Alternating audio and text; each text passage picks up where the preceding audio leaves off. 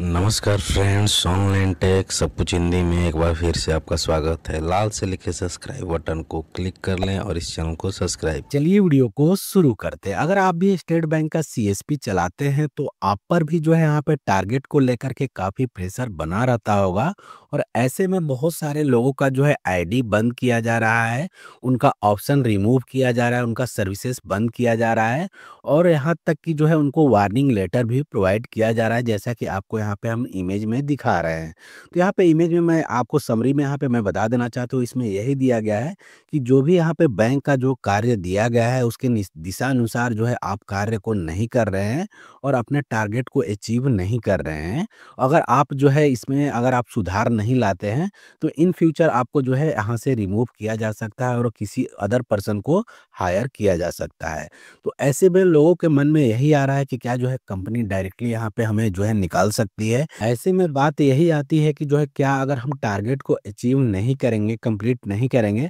तो क्या कंपनी हमें जो है यहाँ पे रिमूव कर सकती है, यानी कि हटा सकती है? तो सबसे पहले आपको मैं बता देना चाहता हूँ, अगर आप जो है एस बी ऑपरेट कर रहे हैं तो सबसे पहले आप इस चीज़ को समझ लें कि बीसी क्या है और सीएसपी क्या है। जैसा कि कोई भी गवर्नमेंट काम निकलता है तो वहाँ पे जैसे एक ठेकेदार को नियुक्त किया जाता है और उस ठेकेदार के अंदर जो है इंजीनियर, वर्कर्स, बहुत सारे लोग जो है काम करते हैं,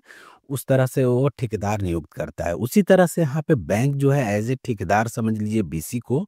उसको यहाँ पे नियुक्त किया गया है और उसके अंडर में ये सभी कार्य किए जा रहे हैं। यहाँ पे बात आती है कि कंपनी का क्या क्या अधिकार है या क्या आपको एक झटके में यहाँ जो है यहाँ से हटाया जा सकता है? तो सबसे पहले मैं आपको पहले भी मैंने एक वीडियो बना करके दिया था जिसमें कि एग्रीमेंट का काफ़ी हमने समीक्षा किया था और उसको समरी में बताया था कि क्या क्या जो है कंपनी आपके साथ कर सकती है क्या क्या उसका अधिकार है। तो यहाँ पे आप जो है जो भी आपने एग्रीमेंट किया है, जिस भी कंपनी से किया है तो वहाँ पे आप जो है एग्रीमेंट को बहुत ही केयरफुली रीड करें ताकि आप उस चीज़ को समझ पाएँ तो यहाँ पे जो भी आपने एग्रीमेंट किया है उसको जो है केयरफुली पढ़ करके आप समझ सकते हैं कि कंपनी आपके साथ क्या-क्या कर सकती है। तो इस वीडियो में इतना है अगर आपको वीडियो थोड़ी-सी भी अच्छी लगी हो तो वीडियो को लाइक करें, कमेंट करें, शेयर करें और इस चैनल पर पहली बार आए हैं तो वीडियो के नीचे लाल से लिखे सब्सक्राइब बटन को क्लिक करके इस चैनल को ज़रूर सब्सक्राइब करें ताकि एसबीआई सीएसपी से रिलेटिव या बैंकिंग से रिलेटिव कोई भी अपडेट आती है तो मैं समय-समय पर इस चैनल पर अपलोड करता रहता हूँ।